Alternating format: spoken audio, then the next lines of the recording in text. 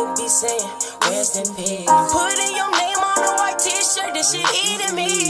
This shit been eating me. I wasn't there when you needed me. In my heart, I cannot take it. You told me you wasn't gonna go. You know that we had a plan. I do not understand. Yeah. We're gonna get it together, man. Why you had to go? Like that? I'm right here to hold you down. Hold you down. Your spirit didn't go too far from here. I'm right here to hold you down. Hold you down. Cause I ain't gonna see you no more. So fly. My helmet burn.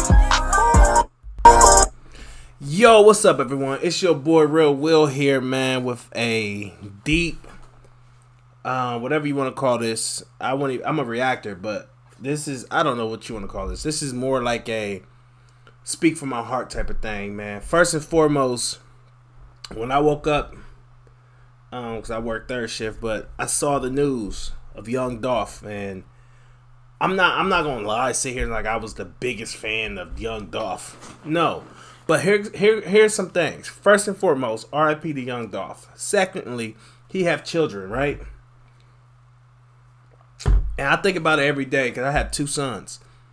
If something happened to me, man, who's going to watch over them? Who's going to protect them? You know, um, as a man, you know what I mean? And and it's a sad situation, very very sad situation, man. One story was that he went to he went to go grab some cookies for his mother.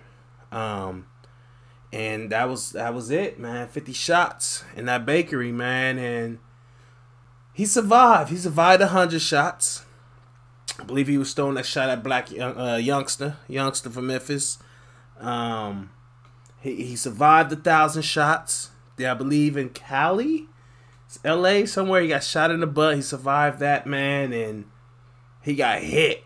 He got hit in Memphis, his own city, man his own city, man. And and this reminds me of Nipsey in in a, in a, in a sense, man. And what's crazy is that you know I don't got no hatred for six nine, but I thought snitching was worse than you know doing someone dirty, doing someone wrong. We know, like I'm not the FBI, I'm not an investigator, but we know there was two options. There was money on his head. They had money on his taco. Somebody pay him a lot of money to get rid of young Dolph. Or he was backdoor, like Dirk said. He was backdoor. And nine out of ten, he's he's probably he probably was backdoor by somebody he know. And this is a sad situation, man. And going to your own city though.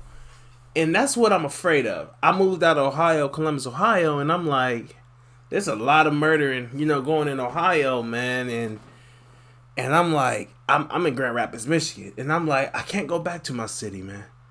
One, I'm, I'm, my channel is growing. People seeing me becoming this great videographer, man. I'm a forex trader, I'm making money, you know, and all this good stuff. And I had a lot of haters, you know what I mean. Even while I was here, eh, people from Columbus was hating, you know what I mean.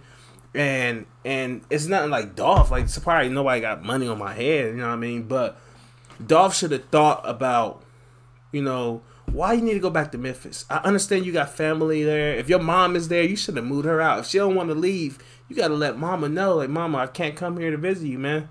I can't, I can't. I love you, mama, but and we we want to do so much for our communities. You know what I mean? We want to bring bring back hope for our communities. We want to donate our money to our communities, but do our community really love us? You know what I mean?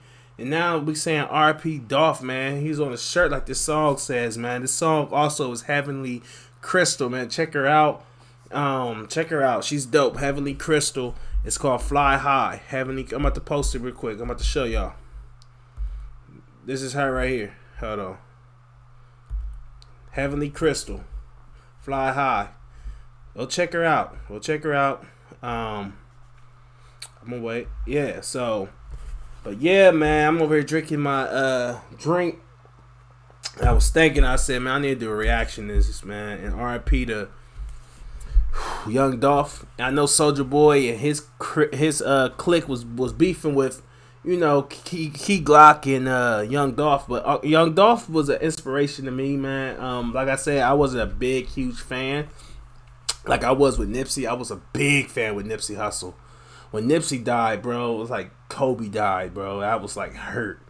Like I was literally coming from New York, man, Syracuse, New York, coming back to Ohio, man. And but this right here, man, he was an independent artist, even though Soulja Boy said he was signed to Empire. Um, but he was a very independent artist, and a lot. It's you know how much work it takes to be an independent artist, how much grind, how much investing, how much you lost to become an independent artist, man. That's tough, and he put all this work in. I don't want to put all this work in and die, and die. You know, we all got a time to go, but die like that, you just wanted some cookies, man. You just wanted some cookies, man. How do y'all feel about the situation? Do you feel he should have never went back to Memphis? Hmm?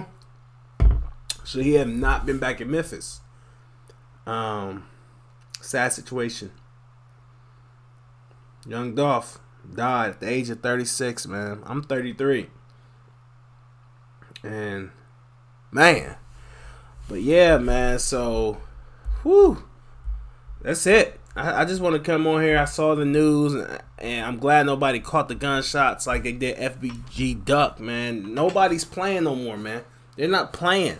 They shooting broad daylight. They don't care who you are and where you are. They shooting. They letting loose. But Memphis is about to be on fire.